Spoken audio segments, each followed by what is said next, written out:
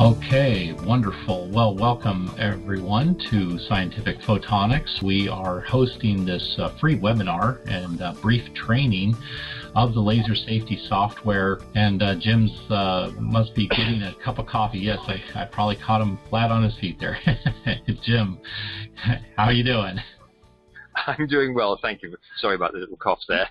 Thanks for uh, joining us. Uh, and um, we're going to be doing a brief training on the LaserSafe PC. As we can see, we're on uh, the current homepage for Scientific Photonics, and we'll go ahead and minimize that and bring up the uh, LaserSafe PC software, which is already running. Yeah, yeah, the magic of technology. Yes, absolutely. And uh, this is uh, being done with the newest version, version 5.2, which has been a fairly large update um, effective May of 2017 and includes uh, all the global standards, the European standards, the American standards, and uh, the old, I guess out of date, CDRH standards, which some people still need to know. So that's one thing that makes your software unique, isn't that right? Absolutely. The um, uh, being a laser safety officer, I need to be in a situation where I can assess hazards quite quickly. Uh, experience is one thing, but when you're dealing with certain uh, specifics, you need to be able to analyze a situation very quickly. So I, I, initially wrote the software to help me evaluate this and do a set of calculations very, very quickly, um, particularly when you haven't got a lot of time to do things. And eventually it evolved into the product that it is today. That's it. 25 years in the making and, and going better than ever. Totally. Huh? The embryo started 25 years ago. In fact, your software has uh, quite notably been uh, recognized as uh, helping to correct some of the standards out there because your software is so good it actually discovered errors in, in actual standards. Isn't that right? Uh, that it did uh, a few years back. The, I'm not going to go into the details, but we did, uh, using it, we did discover a couple of errors in some of the standards and they had to change. But that's, that's our little past history. So you don't if, have to brag too much about that one. Well, I think it's a big deal. I mean, if somebody's trying to evaluate several different um, softwares to use, because there are several others out there, kind of, I don't, I don't want to necessarily say copied, but they're out there, and uh, but I don't know if they can brag that they've uh, actually. And I think we're having a little bit of a connection problem. uh, we're having some connection problems um, off and on. There might be small lags, so don't let that uh, bother you. Um, yeah. Uh, anyway, I, I, I don't know if you heard my question. Did you hear I my question? didn't catch that. I was, uh, the, the part I did catch uh, was about uh, there being other software around. Yes, there is, of course. Yes, um, other software, I, but I don't think that they um, easily allow you to access all the standards like yours does. To my knowledge, uh, we are quite unique in the sense that we do cover all the, both the standards, uh, EN 60825 and Z1, the ANSI Z136. And of course, uh, for uh, historical reasons, we keep the CDRH standard in there. Uh, uh, but um, the, the, the transition between the two is very simple doing the calculations. And we're going to be showing that always, coming we up. Always, yeah, we we always like to keep abreast of things, keep up to the very very latest standards.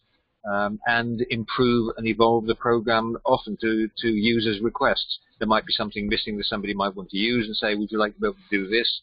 and if we feel it's a reasonable modification, we'll put it in. It's happened many times. Yes, myself included. it's a growing software. It, it, absolutely is. Well, we will we will um, go ahead and uh, with this webinar we will uh, cover how to do some basic calculations and uh, show you what to expect in one of our regular live uh, webinars, where you'll actually be able to um, participate and ask questions live online of uh, myself or Jim. But I would like to just uh, say again that Scientific Photonics is extremely excited to be representing LaserSafe PC here in America and uh, North America, and uh, we um, we really appreciate Jim uh, doing these uh, informational training webinars, and uh, we'll also be working with Jim to start doing um, educational trainings and certification courses here in America as well. So you'd be able to get um, trained and certified on all the standards, uh, and we we got to re, you know face the reality that uh, lasers are being made in more places than just America. You know, 20, 30 years ago, yeah, America was kind of the standard bearer with some of the big companies that we all know and and love, but um, nowadays, you know, there's lots of lasers being made in Asia, lots of lasers being made in Europe, in Eastern Europe, uh, all around the world for that matter, and being compliant to all the standards um, is just more important than ever. And uh, so that's why we're bringing this to um, North America and to our clients. So thanks again, Jim. And I guess no with that, problem. we should uh, go ahead and um, get started with uh, showing how uh, to do a, I guess starting out with a basic search, kind of the, the ease and convenience of doing that. Mm-hmm. Well, uh, initially when you start up the software, you'll get a front, uh, front end screen which you won't uh, see because I've already started the software. Uh, but the first thing that you will notice is this light green screen which we call the assistant. And what assistant does is it helps you every single step of the way as you're carrying out calculations to tell you what it is that you're inputting and what it is that you're supposed to be doing. And assistant will also help you on the results when you get them. But a bit, uh, a bit more of that later. Um, here you can see what the basic input characteristics are. In other words, what you can calculate for. Uh, these are the active buttons where you select your calculator. Uh, you have point source, or small source as they're often known as. This is for intrabeam viewing. In other words, you get the laser straight in the eye. Um, extended source, uh, same again, intrabeam. Uh, fiber optic delivery sources, again, uh, in the eye. Um, this one is LEDs. Now, LEDs is interesting because that used to be in the old European standard that came out in 2001. But because LEDs are now a very uh, specific thing, uh, a new standard has been introduced for them. But we've kept it as a historical uh, thing just to be able to uh, get a rough idea of how potentially dangerous an LED might be. And as you well know, LEDs are getting brighter and brighter every day and becoming a real hazard, not just a potential hazard. Uh, the next along we have uh, diffuse reflections. Uh, this is essentially when you fire a laser beam onto a, surface, a wall, um, uh, whatever surface, and you're standing at a distance and you're trying to find out if there's a potential problem uh, looking at the spot on the wall and, or whatever other surface. And then we also have scanning lasers here. And as a help to those who want more in-depth information, uh, you have access to the AEL and MPE tables, which the standards publish. Um, then we have uh, this product classification button, which I'm going to press now actually, so you just get a very, very quick idea what this does. Kaboom. Notice assistant disappears because you don't need help here, because these are the help buttons. There you go, we press that, and that's a quick description of all the classes. Uh, notice I'm using EN60825. Uh, if I click on Z136, it immediately changes to cover the Z136 standards. And funnily enough, if I go to CDRH, there we go, we've got the CDRH um, classification there as well. Uh, being terribly European, well, for a bit longer anyway, um, uh, I'm going to go back to EN uh, 60825. Uh, you can click on any one of these buttons to get the specifics about the uh, each one of the standards. Okay? Just a quickie on that one. Right. We're back no, that's in, that's important because if somebody has uh, an older laser, maybe some older mm. equipment, you know, um, who knows, maybe a, um, I don't know. I don't want to throw out an example and I and alienate people, but just, let's just, just an old just an old laser that you just picked up from somewhere and it's got a classification yeah. of uh, CDRH type. Uh, it's nice to know just where you're at with it.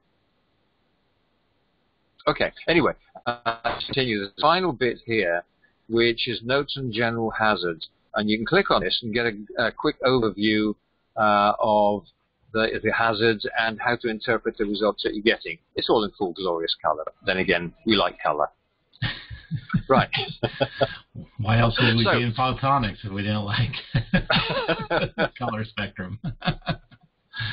so, let's do an actual calculation. We start out with a nice simple uh, small point source laser um, let's say, for the sake of argument, you're a holographer, you're dealing, uh, you're trying to make holograms, you're just trying to assess uh, potentially, you just got yourself a new laser, and it's a 25 milliwatt HeNe laser. So, um, I said a HeNe laser for all you people now out there who remember and or use HeNes. They're 633, or if you want to be really precise, 632.8 nanometers. There you go. Uh, quarter of a second exposure, which is typical eye response. Uh, now, 25 milliwatts. Uh, oops, now, what have we got here? Incidentally, I went racing along there, and uh, you probably noticed that the assistant changed as we moved along. Uh, that tells you uh, what the uh, what it is that you're dealing with, spectrum, etc., where your wavelengths lie, visible, invisible, etc., time domains that you can put in, and here we've got the power domains. Now notice it mentions there that you have CW repetitively pulsed or single pulse. So if you actually start the calculation beforehand, you can select this sort of fly and you can select repetitively pulsed or single pulse. And you, for uh, very specific purposes, you can select Gaussian or top hat. Um, as this is a Gaussian beam, we're going to go Gaussian. Why not? So, we continue there. And believe it or not, the flyouts are available for other useful things. Because 25 watts, uh, 25 milliwatts is 0.025 of a watt. Um, do we really want to put that in there? No. We go to the flyout and put in milliwatts. Easy. Now, uh, beam, again, gives you how the measurements of the beams are brought out. Got lots of things. Uh, just as another little aside, I'm going to go back to the screen here. Notice that little blip there. If you don't know what the magnitudes are, there we are. All the help is there. Notice this is a white screen. This is a help menu. Uh, the helps are white, assistant is light green. Okay? We like color codes.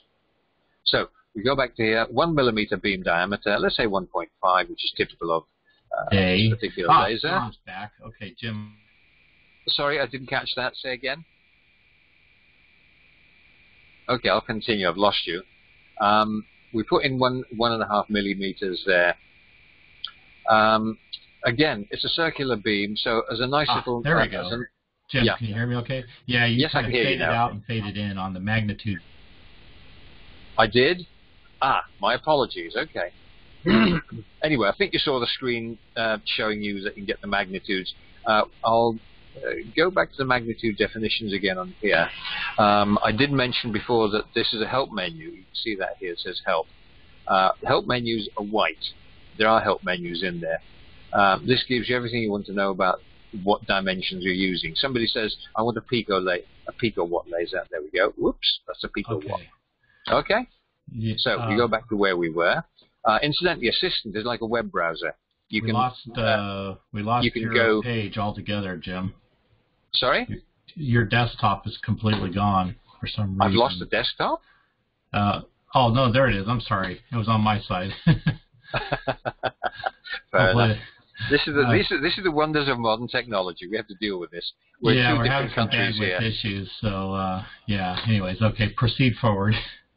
Okay. Now, as I said, it's a circular beam, and as a nicety, um, instead of having to retype 1.5 milliwatts, you just hit enter on the blank field, and it will repeat the previous value. And the same will apply for the milliradians, which, of course, given a flyout, you can select milliradians or degrees for your beam divergence. And whatever you put in that field, uh, if you put in the next field and hit enter, it'll repeat that again. And laser to target distance, one millimeter, one meter. Okay?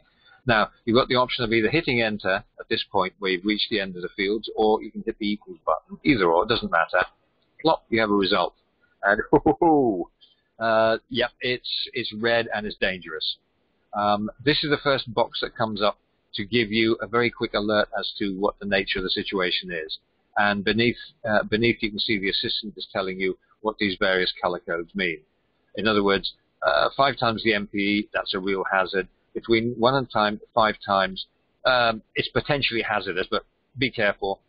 Uh, 0.5 and 1 times. Ah, um, there we go. You're back.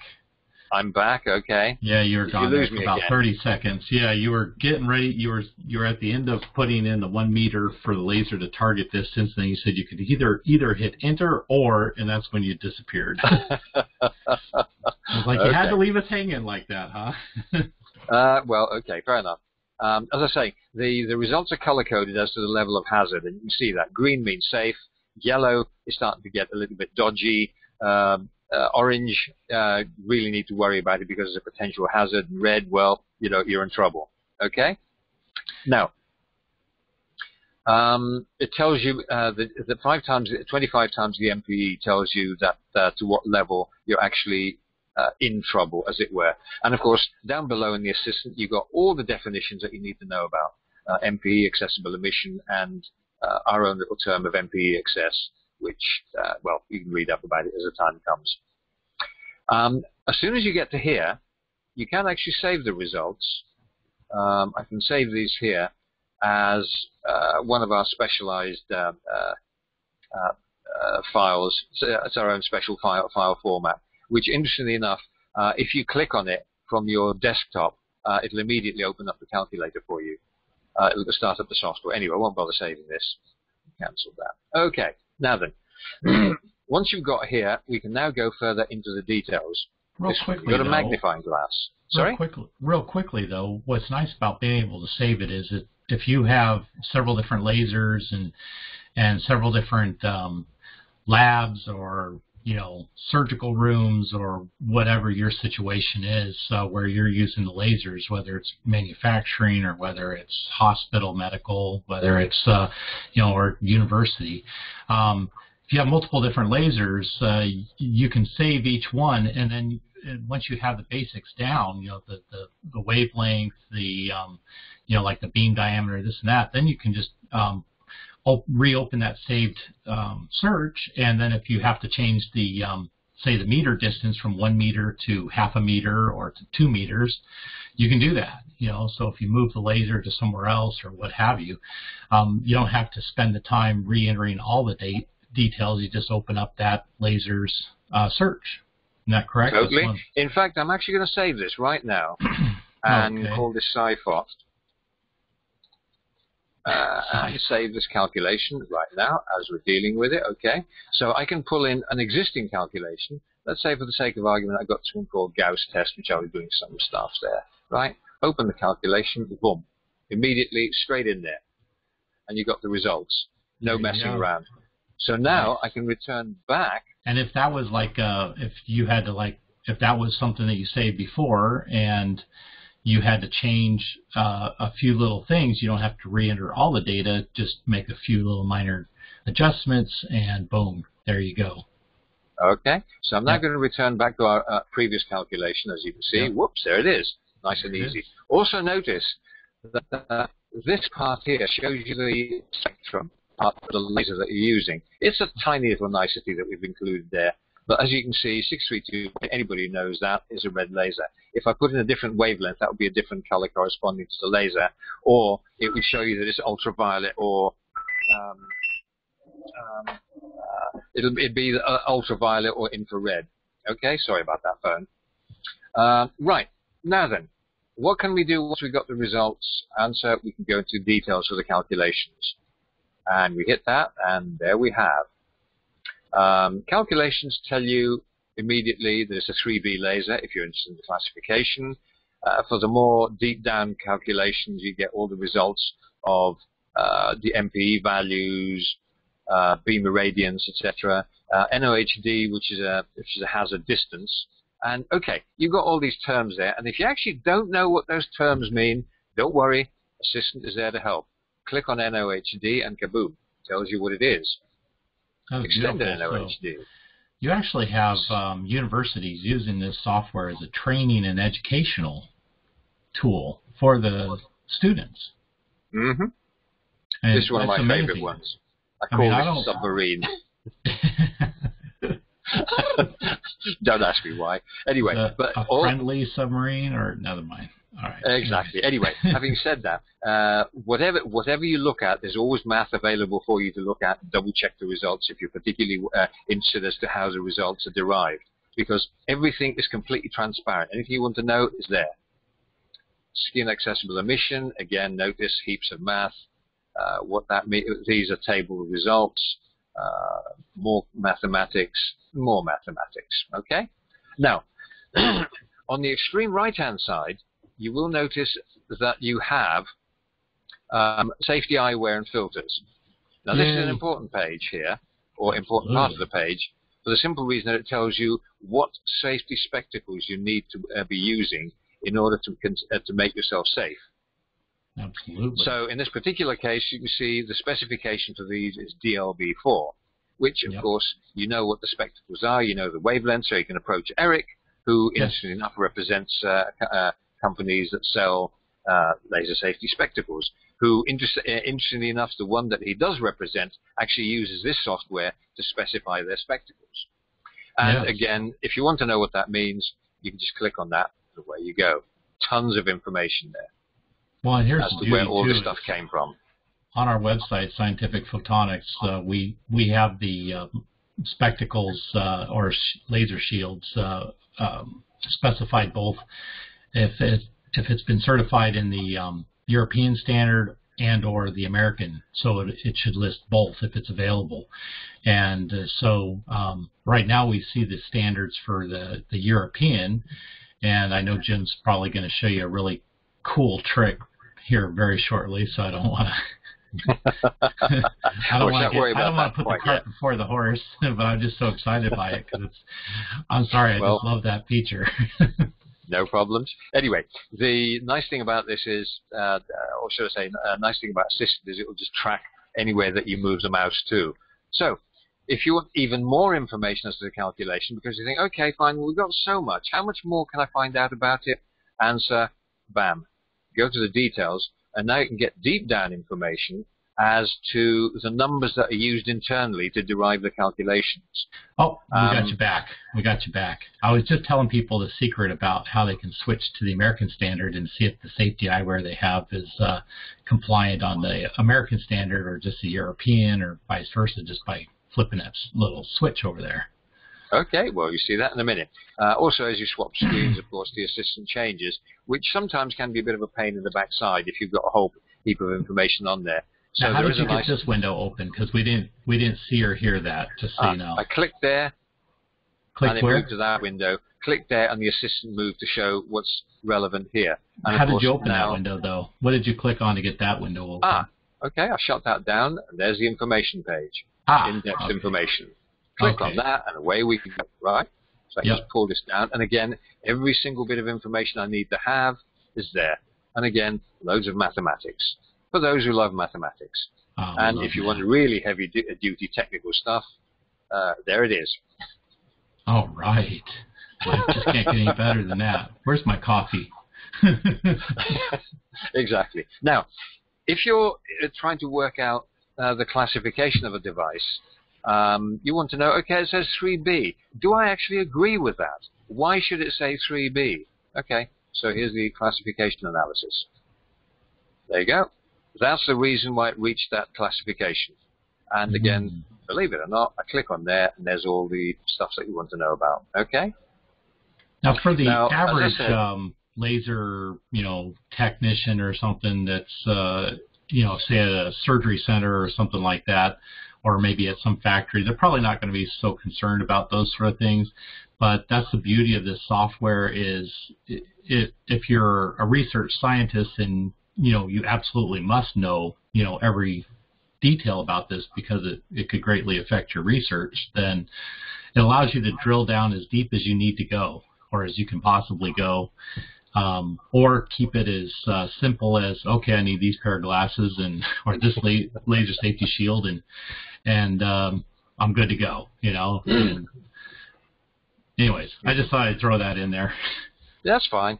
Uh, this is this is core level stuff. I mean, you're right down into the insides of the uh, of the standards because if you actually pick up a standard and read it, one of the reasons I wrote the software is I read this uh, I read the standard a long time ago, and I looked at all the numbers and I thought, you have got to be kidding! This is just way too complicated for the average Joe, let alone myself. So you, you've got to you've got to scrounge around through all over the place trying to find various values here. You've got correction values here. You've got conditions here. And at the end of the day, you're thinking this is going to take me this is going to take me the better side of half hour to an hour to uh, a long time. And even with a lot of experience, you're still got to hunt around quite a lot looking at it. Whereas this, bang, you've got the results, and then the moment you know where the results are, you can then find quite quickly um, uh, in the standard where you should be looking at to find the results if there's something you're not sure about or something that doesn't look right, which, if you're experienced, sometimes it does happen. So, um, as I said, assistance sometimes can be a bit of a pain in the backside. You, can get, ah, you can you minimize it, and there we, you we got you back. Um, we kind of lost got you there back. a little bit. Yeah, we kind of lost you there a little bit uh, for about 10, 15 seconds, just so you Okay. know. I, you were talking about the, the in-depth standards, and then you kind of Yeah, yeah, exactly. When you when you get into the standards uh, themselves, there's a lot of, there's a lot of stuff in there, and it's sometimes very easy to overlook certain things as well. I mean, in the early days, we were overlooking tiny little subscripts um, subsections there, which uh, you know were quite easy to miss. And over the years, we've learned how to tooth comb things finally to make sure that all the results presented are as accurate as, as are realistically possible. So there you have it. However, Eric was talking about nice little, a little, little nicety there. Notice all these results are in watts per square meter and such like. Um, well, if I now click on this little button and say, you actually want to see these as ANSI Z136, okay? Bam, hit the button, and everything changes. You've now got uh, watts or milliwatts per square centimeter, which is the CGI, uh, C, um, CGS standard that you use in the US of A.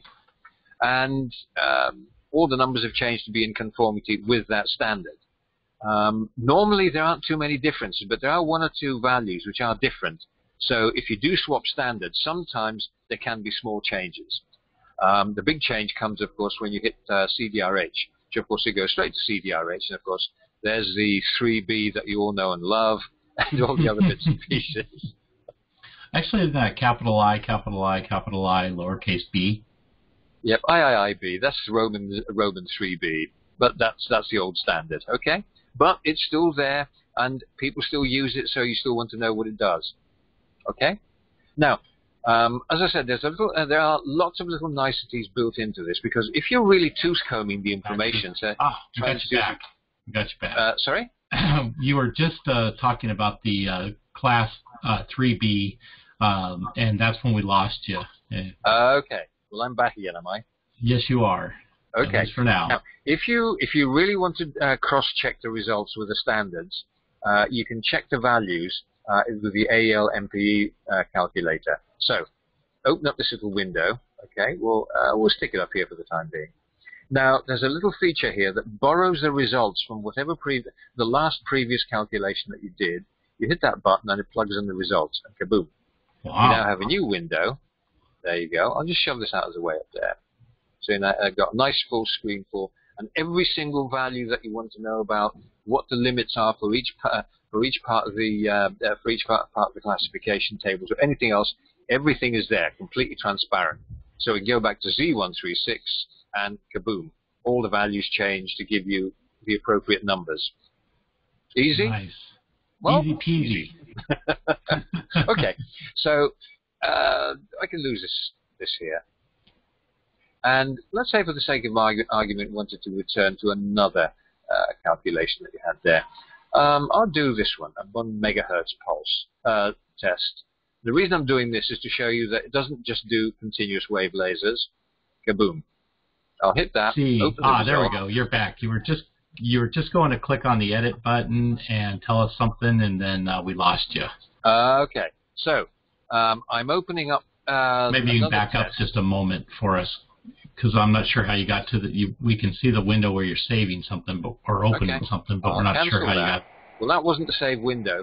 That was actually the open window, open file, which you can select from either there or load uh, delete details. I don't think so. I should have said load. Sorry. Anyway, uh, you load on that, or you do there. Ah, there we go. We got you back now. So you okay. just closed you can that open window, the file and that's all there. we saw, and we couldn't see anything okay. else. You can open the file there by clicking on this open folder one, and Ah. kaboom, you can retrieve a previous calculation, which I'm now going to pull in this calculation, which is a pulse test, so that you know that it doesn't just do CW. Click. Okay. Uh, oh, no, we do open. There we go. And we kaboom. Now, the screen cleared itself completely. All the previous results, which are completely redundant, have gone, because obviously you don't need that. And notice now, 488 nanometers is a light blue screen. Yes. Okay? So you've now got a completely different set of results there. And we can go back to the details. Just 10 milliwatt there. Uh, and again, it's a 3B and all the usual stuff. But this time, because we're dealing with pulses, uh, the standard dictates that we have to do three tests to work out which is the most, uh, which is uh, the most hazardous, and that will be the result that you deal with. Okay. Ah, okay. A quick aside: we are running uh, just past 30 minutes, so I know Okay, to keep not this to one worry. a little bit limited. So I'll bring the assistant back by re- uh, by restoring him. Come on, assistant. There he is. He's back. um, that's basically what this whole thing's about. So um, the next seminar we'll do, we'll probably go into, or not seminar, the next video that we'll do, we'll probably go into some of the other features, uh, extended sources, fiber optics, etc. Uh, or, of course, we can do this live uh, when we do the live uh, the live seminars, where people can actually ask questions, they can pose their own situations. Uh, if somebody's got a particular thing they'd like to try out, please put them in. We'll play around with it and show you why the results are what they are. Okay? Thanks for yeah, listening. And, and just um, um, go uh, go to our website, Scientific Photonics, and uh, you'll see the um, icon for the laser safety software. And if you click on that icon, there will be um, in the next page there would be the um, uh, thing for the laser safety webinars, and that's where you can get the calendar for the webinars. You can also sign up for our newsletter and uh, be alerted as to when we're doing the next one. Uh, depending upon the uh, level of demand, we may do these once a month or maybe just once a quarter. Um, it just depends upon how many people show interest for the the live ones, and then of course we'll be having some uh, uh, if you do need the laser safety uh, eyeglasses or shields, then just go ahead on our website. You can click on the uh, Noir Laser Shield uh, button there, and that'll take you over to the glasses. And um, if you don't see what you're looking for, just email me or email us and uh, uh, send in a request, and we will uh, see about getting you the ones you need. And um, with that, Jim, thank you so much for uh, spending your time uh, with us. It's too bad we had a few issues with some bandwidth, but uh, hopefully overall it will be um, a-okay. These are the little problems we have with software. Many apologies to those viewing. Uh, uh, we got these technical glitches, but when you do it over a long distance, sometimes these things will happen. But there you go. Well, we're here in California. You're there in London, and so uh, exactly yes. and of course, we're two complete different time zones as well. I'm in the afternoon. You're in the morning. But That's right. Uh, whatever it is, it could have been midnight as far as you're concerned. But never mind. yes, exactly, exactly. So, all right. Well, thank you so much, Jim. We do appreciate it, and you thank have you, yourself uh, a great evening. And we'll talk to you later. And okay, we'll you take care. Thank you so much.